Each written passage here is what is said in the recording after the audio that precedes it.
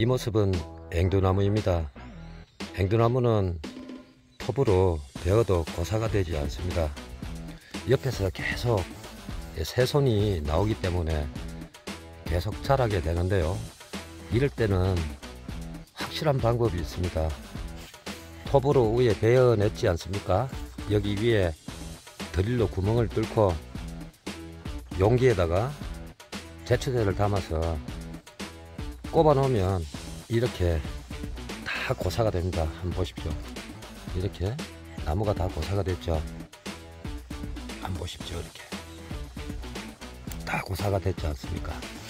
이러면 이 전체가 뿌리가 고사가 되기 때문에 나무 자체가 모두 소멸하게 됩니다. 여기다 한번 보십시오. 톱으로 벤 자국 있죠. 모두 고사가 되었습니다. 이런 작은 새싹들도 다 죽게 마련입니다. 이렇게 보십시오.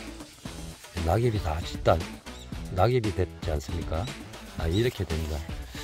아주 쉽고 편리한 방법이 있으니까요. 이렇게 하시면 되고요.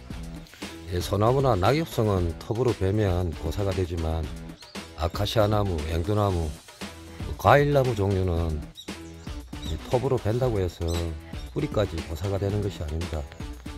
보시는 바처럼 옆에 새순이 나오기 때문에 계속 자라게 됩니다. 계속 내버려 두면 이렇게 굵은 가지가 다시 원가지처럼 굳게 됩니다.